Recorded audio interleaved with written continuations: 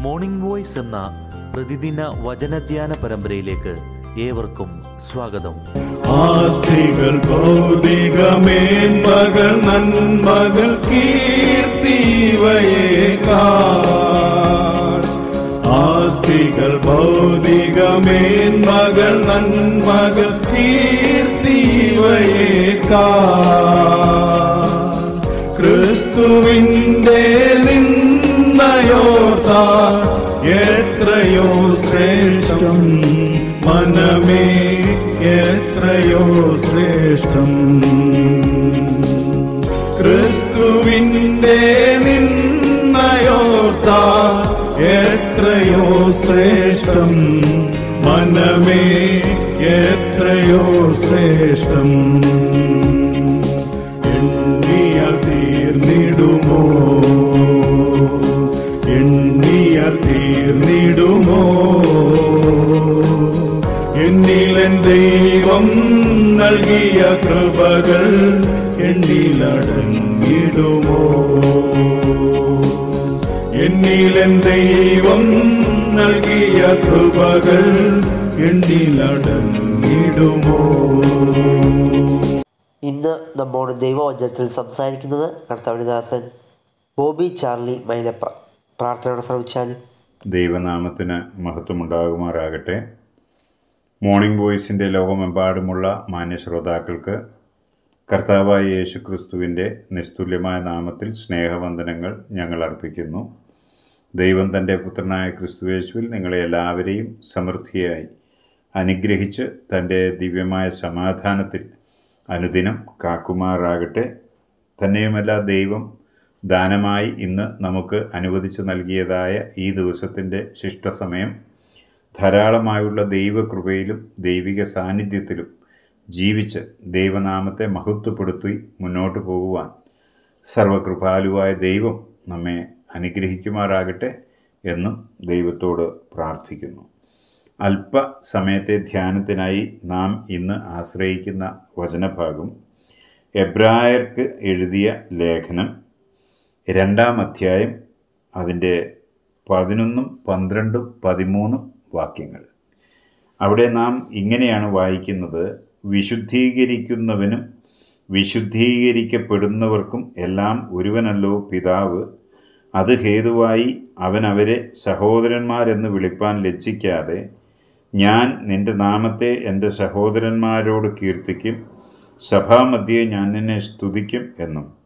ഞാൻ അവനിൽ ആശ്രയിക്കുമെന്നും ഇതാ ഞാനും ദൈവം എനിക്ക് തന്ന മക്കളും എന്നും പറയുന്നു. ഈ ദൈവവചന ഭാഗം വായിക്കുമ്പോൾ നമുക്ക് എത്ര ആനന്ദവും സന്തോഷവും നമ്മുടെ ഹൃദയങ്ങളിൽ ഉണ്ടാകണം. എത്രമാത്രം നന്ദിയാൽ നമ്മുടെ ഹൃത്തടം നിറഞ്ഞ് കവിയണം. കാരണം ഇവിടെ അതിനു മുകളിലുള്ള വാക്യങ്ങളിൽ ദൈവത്തിന്റെ നിസ്തുല്യമായ കൃപയാൽ നമുക്ക് വേണ്ടി മരണം ആസ്വദിച്ച കർത്താവായ യേശുക്രിസ്തുവിനെക്കുറിച്ചാണ് പറയുന്നത്. ആ പറഞ്ഞ വചനത്തിന്റെ തുടർച്ചയായി പതിനൊന്നാം വാക്യത്തിലേക്ക് വരുമ്പോൾ വിശുദ്ധീകരിക്കപ്പെടു വിശുദ്ധീകരിക്കുന്നവനും വിശുദ്ധീകരിക്കപ്പെടുന്നവർക്കും ഒരുവനല്ലോ പിതാവ് എന്ന് പറഞ്ഞിരിക്കുക ഇവിടെ പിതാവ് എന്ന് പറയുന്നത് നമ്മുടെ സ്വർഗസ്ഥനായ ദൈവത്തെയാണ്.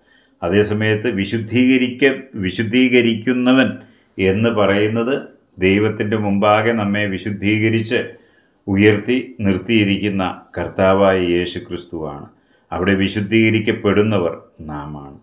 ആലോചിച്ചു നോക്കുക സകലത്തെയും ചമച്ചവനായ ഉന്നതനും മഹാനും വലിയവനും ഭയങ്കരനും സർവശക്തനും ആയിരിക്കുന്ന മഹാദൈവം സർവവല്ലഭനായ കർത്താവ് സർവാധികാരിയായിരിക്കുന്ന ആ കർത്താവിന്റെ ഏകജാതനായ പുത്രനാണ് നമ്മെ നീതീകരിക്കേണ്ടതിന് നമ്മെ രക്ഷിക്കേണ്ടതിന് അഥവാ നമ്മെ വിശുദ്ധീകരിക്കേണ്ടതിന് ഈ ലോകത്തിലേക്ക് മനുഷ്യനായി താണിറങ്ങി വന്ന് തന്റെ ശരീരത്തിൽ കഷ്ടം ഏറ്റെടുത്ത് സഹിച്ച് നമ്മുടെ പാപങ്ങൾക്ക് എന്നേക്കുമായിട്ട് പരിഹാരം വരുത്തിയത് നമ്മുടെ പാപങ്ങൾക്ക് പ്രായച്ചിത്തമായി തീർന്നത്. ആ കർത്താവിനെയാണ് ഇവിടെ വിശുദ്ധീകരിക്കുന്നവൻ എന്ന് പറഞ്ഞത്. എന്ന് വെച്ചാൽ പാപിയായിരിക്കുന്ന എന്നെയും നിങ്ങളെയും തന്റെ പുത്രനായ ക്രിസ്തുവേശുവിന്റെ രക്തത്താൽ ശുദ്ധീകരിച്ച് തനിക്ക് മക്കളും അവകാശികളുമാക്കുവാൻ ദൈവത്തിന് പ്രസാദമായപ്പോൾ എബ്രായ ലേഖനം പത്താം അധ്യായത്തിന്റെ അഞ്ച് മുതൽ താഴോട്ടുള്ള വാക്യങ്ങളിൽ നാം വായിക്കുന്നത് പോലെ ദൈവത്തിന്റെ ഇഷ്ടം പ്രവർത്തിക്കുവാൻ ദൈവത്തിന്റെ സന്നിധിയിൽ നിന്ന് മനസ്സോടെ ഈ ഭൂമിയിലേക്ക് വന്ന കർത്താവായ യേശു ക്രിസ്തു ആ കർത്താവായ യേശു ക്രിസ്തുവിന്റെ താല്പര്യത്തെക്കുറിച്ച് അവിടെ തന്റെ ആത്മസമർപ്പണത്തെക്കുറിച്ച് ദൈവത്തിന്റെ കൽപ്പനകൾ അനുസരിക്കുന്നതിലുള്ള തന്റെ ആ വലിയ ആ സമർപ്പണത്തെക്കുറിച്ച് അവിടെ പറഞ്ഞിരിക്കുന്നത് നമ്മൾ ഇങ്ങനെയാണ് വായിക്കുന്നത്. അത് ഒരു തിരുവഴുത്ത് വചന ഭാഗത്തിന്റെ ഉദ്ധരണിയായിട്ടാണ് നമുക്ക് കാണുവാൻ സാധിക്കുന്നത്. ഹനനയാകവും വഴിപാടും നീ ഇച്ഛിച്ചില്ല. എന്നാൽ ഒരു ശരീരം നീ എനിക്ക് ഒരുക്കിയിരിക്കുന്നു. സർവാംഗ ഹോമങ്ങളിലും പാപയാഗങ്ങളിലും നീ പ്രസാദിച്ചില്ല. അപ്പോൾ ഞാൻ പറഞ്ഞു ഇതാ ഞാൻ വരുന്നു. പുസ്തകച്ചുരുളിൽ എന്നെക്കുറിച്ച് എഴുതിയിരിക്കുന്നു. ദൈവമേ നിന്റെ ഇഷ്ടം ചെയ്യുവാൻ ഞാൻ വരുന്നു. ഇങ്ങനെ പറഞ്ഞുകൊണ്ടാണ് കർത്താവ് യേശു എന്ന നമ്മുടെ ആത്മനാഥനും വീണ്ടെടുപ്പുകാരനുമായ കർത്താവായ യേശുക്രിസ്തു ഈ ഭൂമിയിലേക്ക് വന്നത്. എന്തിനു വേണ്ടി വന്നു? പിതാവിന്റെ ഇഷ്ടം മനസ്സോടെ നിവർത്തിക്കാൻ. എന്താണ് പിതാവിന്റെ ഇഷ്ടം?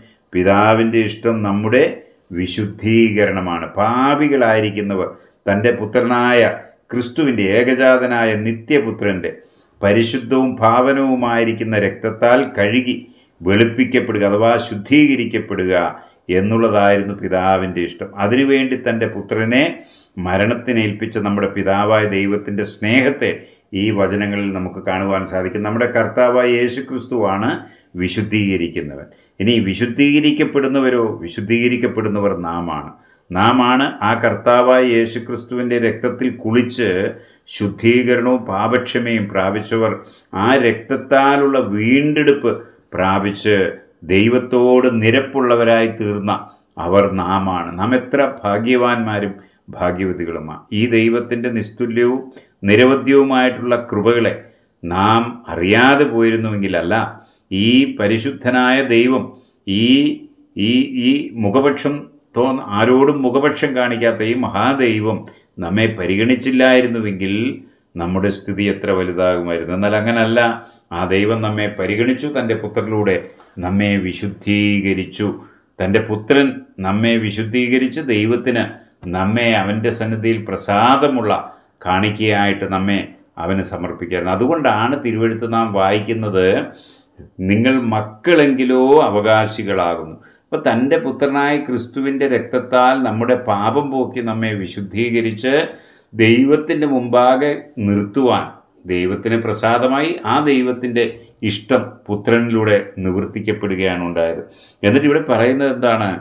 ഈ വിശുദ്ധീകരിക്കുന്നവനായ കർത്താവായ യേശു ക്രിസ്തുവിന്റെ പിതാവ് തന്നെയാണ് ഈ വിശുദ്ധീകരിക്കപ്പെട്ടവരായ നമ്മുടെ പിതാവായ ദൈവം. എത്രയൊരു ഭാഗ്യാവസ്ഥയാണ് പാപികൾ എന്നുള്ള നിലയിൽ കർത്താവ് തന്നെ പറഞ്ഞിരിക്കുന്ന വാക്ക് നിങ്ങൾ പിശാജ് എന്ന പിതാവിന്റെ മക്കൾ എന്നാണ് ആ പിശാജ് എന്ന പിതാവിന്റെ മക്കൾ എന്നുള്ള ആ ഏറ്റവും നീചവും നിന്ദ്യവുമായിരിക്കുന്ന ആ അരിഷ്ടതയേറിയ അവസ്ഥയിൽ നിന്നാണ് നമ്മെ ഉദ്ധരിച്ചിട്ട് ഈ സ്വർഗസ്ഥനായ ദൈവത്തിന്റെ മക്കളെന്നുള്ള അവകാശത്തിലേക്ക് നമ്മെ കൊണ്ടുവന്നതെന്ന് ഓർക്കുമ്പോഴാണ് നമുക്ക് നമ്മുടെ ദൈവത്തോടുള്ള സ്നേഹം വർദ്ധിക്കുന്നത്. നാം നോക്കുക യോഹന്നാൻ എഴുതിയ ഒന്നാം ലേഖനം മൂന്നാം അധ്യായം. അതിന്റെ ഒന്നാം വാക്യത്തിൽ നാം വായിക്കുന്നതിന് കാൺമീൻ നാം ദൈവമക്കളെന്ന് വിളിക്കപ്പെടുവാൻ പിതാവ് നമുക്ക് എത്ര വലിയ സ്നേഹം നൽകിയിരിക്കുന്നു. അപ്പോൾ ദൈവത്തിന്റെ പിതാവായ ദൈവത്തിന്റെ ആ വലിയ സ്നേഹത്താൽ പിശാചെന്ന പിതാവിന്റെ മക്കളായിരിക്കുന്ന നാം ഇന്ന് ആ പുത്രനായ ക്രിസ്തുയേശുവിന്റെ പിതാവാകുന്ന ദൈവത്തിന്റെ മക്കളായി നമുക്കും അപുത്രത്വം ലഭിച്ച് പുത്രത്വ അവകാശത്തിലേക്ക് പ്രവേശിച്ചിരിക്കുകയാണ് നാം. അതാണ് ഇവിടെ പറയുന്നത്. വിശുദ്ധീകരിക്കുന്നവനും വിശുദ്ധീകരിക്കപ്പെടുന്നവർക്കും ഒരുവനല്ലോ പിതാവ്. അങ്ങനെയെങ്കിൽ നമ്മുടെ വീണ്ടെടുപ്പുകാരനായ കർത്താവ് യേശു ക്രിസ്തുവിന്റെ പിതാവും നമ്മുടെ പിതാവും ഒന്നാണ് എന്ന് വരികിൽ ആ പുത്രന്റെ രാജ്യത്തിൽ നമുക്കുള്ള അവകാശം എത്ര വലുതാണെന്ന് നമുക്ക് ആ വചനത്തിലൂടെ മനസ്സിലാക്കുവാനായിട്ട് സാധിക്കും.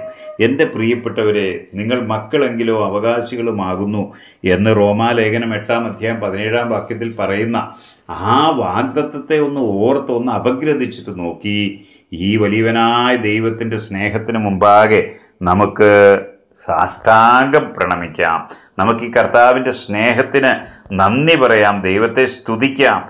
സ്തോത്രം ചെയ്യാം. ദൈവത്തിന് നാം സകേല നന്ദി സ്തുതി അർപ്പിച്ച് കർത്താവിന്റെ മുമ്പാകെ നമുക്ക് വീഴാം. കാരണം ആ സ്നേഹം അത്ര നിസ്തുല്യമായ സ്നേഹമാണ്. അവഗണിച്ച് കളയപ്പെടേണ്ടവരായിരുന്ന അല്ലെങ്കിൽ നിഷ്കാരുണ്യം നമ്മെ ന്യായം വിധിച്ച് നിത്യനരകത്തിൽ തള്ളേണ്ടിയിരുന്നവരായിരുന്നു നാം. എന്നാൽ അവിടെ പോകാൻ നമ്മെ അനുവദിക്കാതെ നമ്മോട് കാണിച്ച മഹാകാരുണ്യപ്രകാരം നമ്മെ വീണ്ടെടുത്ത് രക്ഷിച്ച് ദൈവത്തിന്റെ ആ പുത്രീപുത്രന്മാരെന്നുള്ള അവകാശത്തിലേക്ക് നമ്മൾ ഉയർത്തിയെങ്കിൽ നമുക്ക് ഈ ലോകത്തിൽ ദൈവം അനുവദിച്ചിരിക്കുന്ന ഇന്നത്തെ ഈ ദിവസവും ശിഷ്ടനാളുകളും എത്രമാത്രം ഭയത്തിലും എത്രമാത്രം ഭക്തിയിലും എത്രമാത്രം നന്ദിയോടും കൂടെ നാം ജീവിക്കേണ്ടിയിരിക്കുന്നു. ഈ ഒരു ഓർമ്മയോടുകൂടെ നമുക്ക് ഇന്നത്തെ പകൽക്കാലം തുടങ്ങാം. ഇന്നത്തെ പകൽക്കാലം ശേഷിക്കുന്ന മണിക്കൂറുകൾ ഈ ദൈവത്തോടുള്ള ഭയത്തിലും ദൈവത്തോടുള്ള ഭക്തിയിലും അതിലപ്പുറമായി തന്റെ പുത്രനിലൂടെ നമ്മെ വീണ്ടെടുത്ത് രക്ഷിച്ച ഈ പിതാവായ ദൈവത്തോടുള്ള സ്നേഹത്തിലും നമുക്ക് മുന്നോട്ട് ജീവിക്കാം.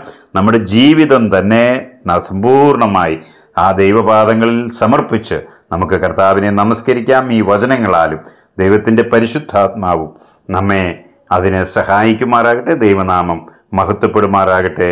ആമേൻ.